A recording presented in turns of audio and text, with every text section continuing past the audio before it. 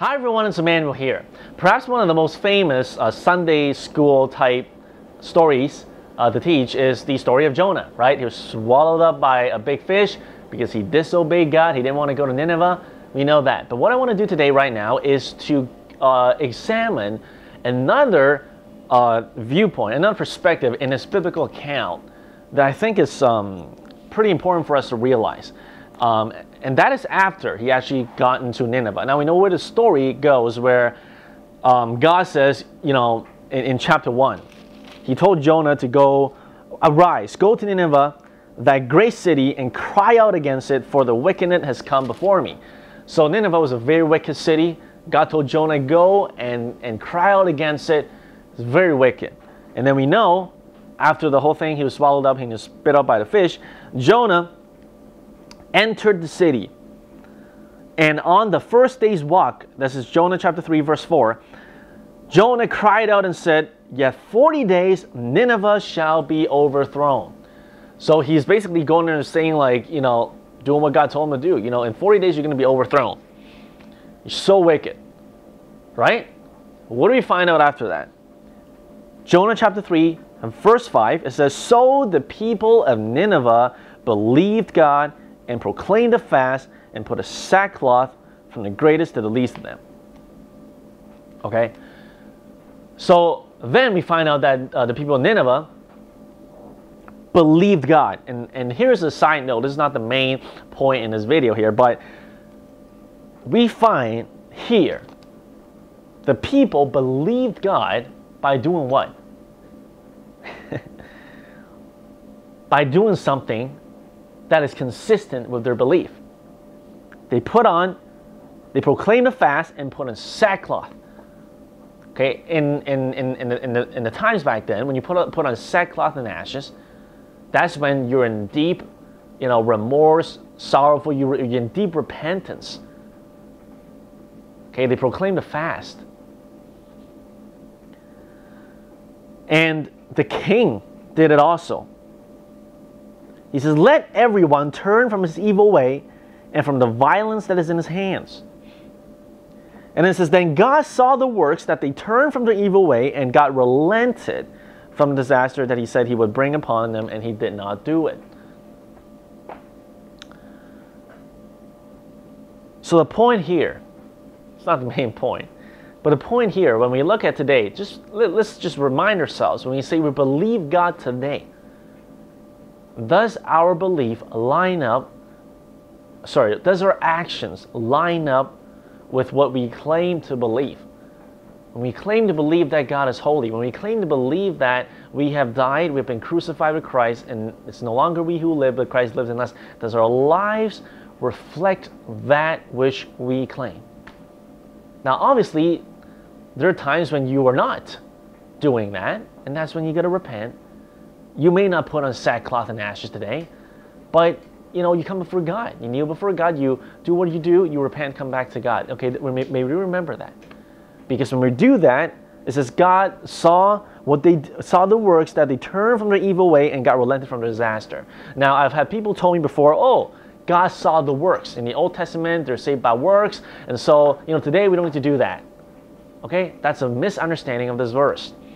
Okay, we're not saved by works, and through Jesus Christ, we're saved by grace through faith. But faith without works is dead. So if your faith, if your faith is genuine, your life will show it. Not that because you do good, not that because you don't do this, don't do this, don't do this, that you're saved. It's because when you repent and say, God, I don't want to live a certain lifestyle anymore, I trust in you today. When you turn from that, and you trust in Jesus, He transforms you and He tells you, it gives you nudges through the Holy Spirit to live a life that's pleasing to Him. You can choose to do that or not do that. That's called disobeying or obeying God. Okay, but the thing is, they they chose to obey God. They chose to believe God, and God saw it and relented. Now, here's the main thing that uh, I actually want to talk about. The main thing here is when Jonah saw what God did, God said, I'm going to, well, basically, you know, I'm, the city's going to be overthrown, right?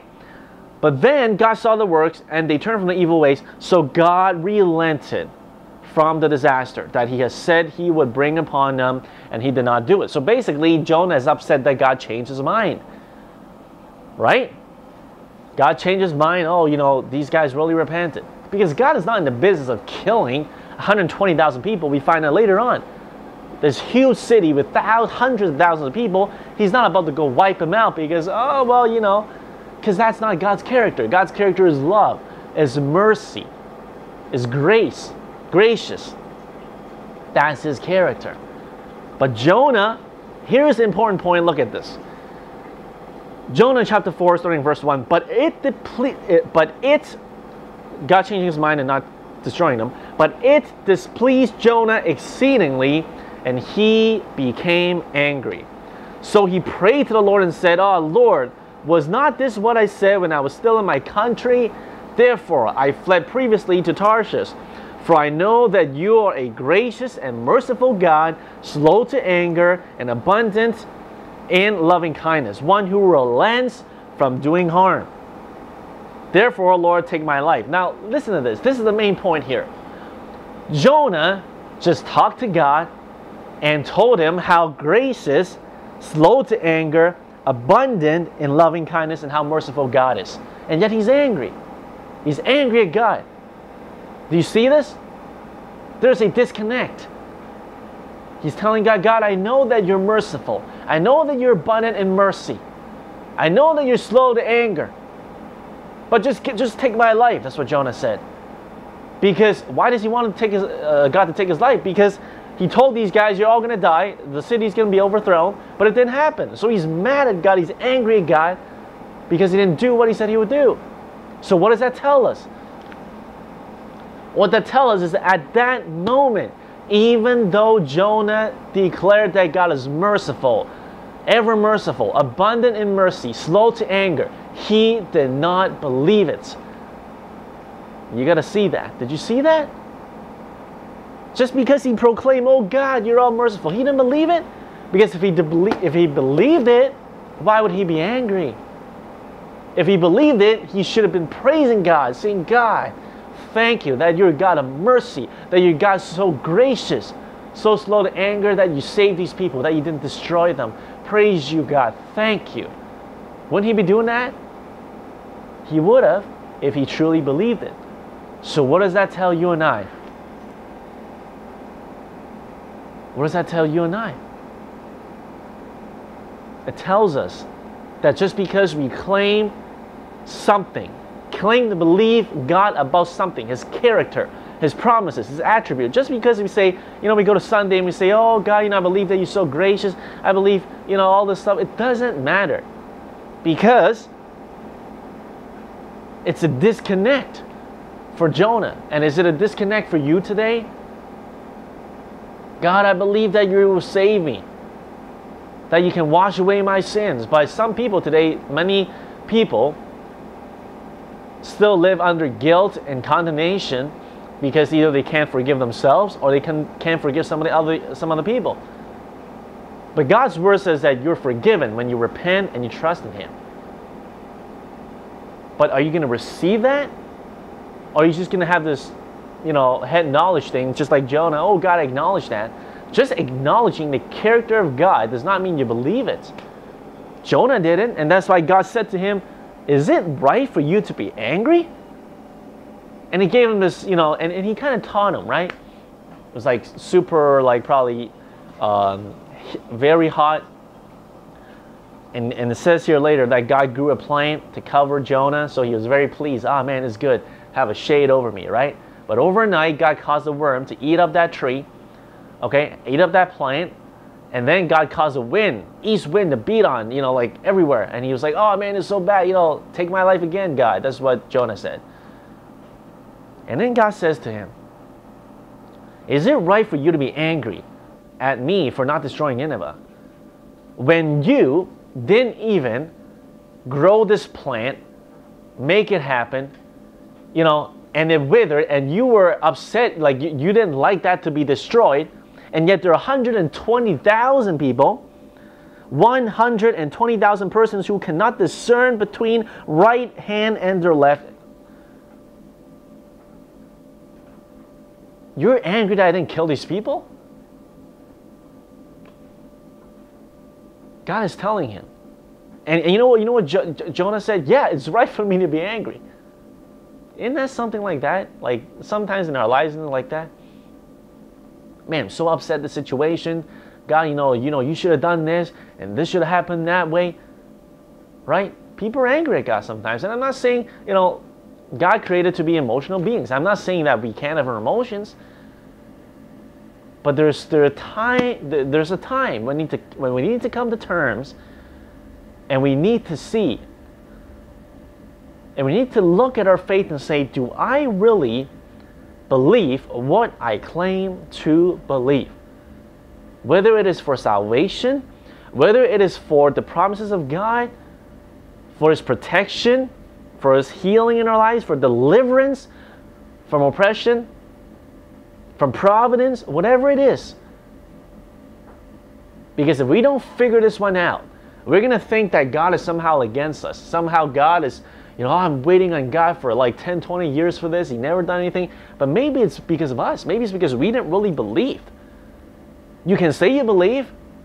James tells us even demons, you know, claiming to believe God and they tremble, they're not saved. And I just want to bring this in a more, a more general, a broad spectrum.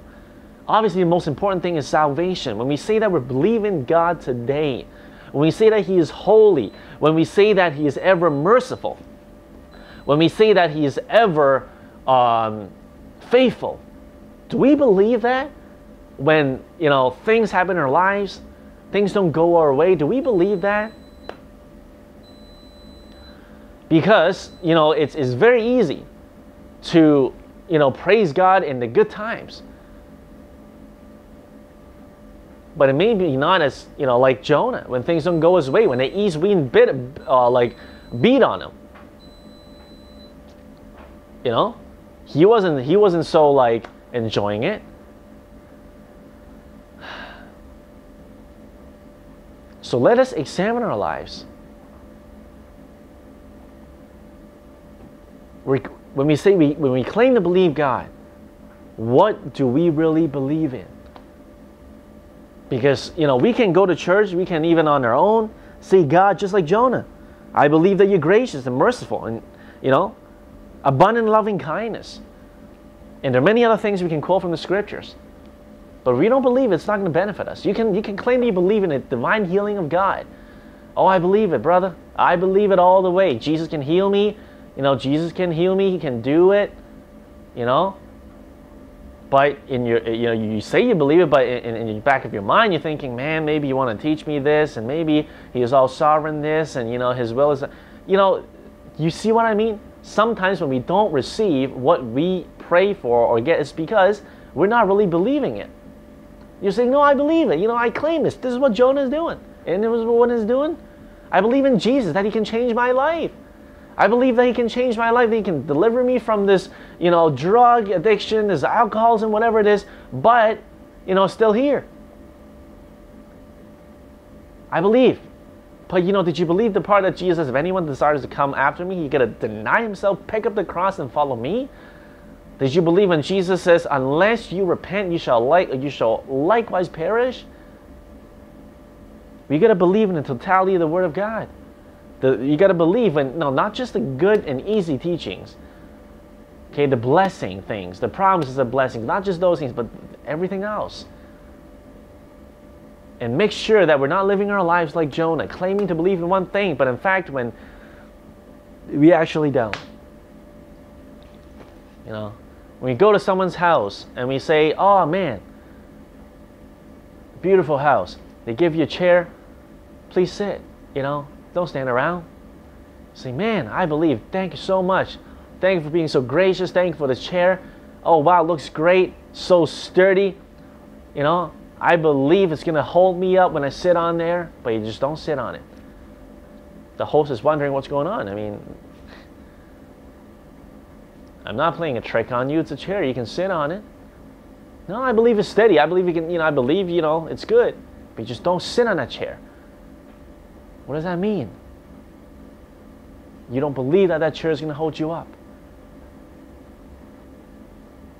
That's what it means. Take that and apply it in our spiritual lives. What do we say today that we believe God about who He is, about His promises, about his, what He said He will do, and about what He said He has done? What is it that we claim to believe, but is not actualized in our lives just yet? Not in a condemning way to say, like, oh man, if you feel condemned, but in a way that says, God, please reveal to me the things in my lives that I need to change my mindset. I need to change how I look at you. Not just, you know, reading this and saying it, but God help me believe it and receive it by faith. God's promise for you is for you to be saved through the blood of Jesus when you repent and trust in Him. God's promise for you is to be healed if you're sick. Because 2,000 years ago, Jesus was striped, and by stripes you were healed. You don't need to doubt that. God's promise for you is to be delivered. Okay? To deliver you from the kingdom of darkness into his everlasting light. You don't need to be oppressed by demons. You don't need to be uh, oppressed by anything else. You can be free. God's promise for you to be uh, to, to, to have his providence. Seek ye first the kingdom of God, and all these things shall be added unto you. God's promise for you is that you can have eternal life, is that you can uh, remain steadfast until the end if you continue to walk with Him. What is it in our lives today that we claim to believe but are not actualizing it, but are not, you know, practicing in our lives? May it be for us a reminder, a prayer that we come before God and say, God, help me adjust my lifestyle, help me adjust my thinking, that I can come into agreement with your word and come to agreement with what I claim to believe, that I can live out that life which you call me to live as a victorious believer in Jesus Christ. May that be your prayer and my prayer until we see Jesus in the cloud and enter into his glorious kingdom, the new Jerusalem, and give him all the praise. May you and I be encouraged with that word knowing that God is ever merciful, slow to anger, and abundant in, in, in, in abundant in grace and mercy. That's the God whom we serve. Receive it today. Turn back to God. Trust in Him. You and your household shall be saved. Another promise of God. Believe in the Lord Jesus, and you and your household shall be saved. May that be for you and my family. May we persevere steadfast till the end. I declare that over you and your family's life and mine as well. In the name of Jesus. So be it. Amen. When I survey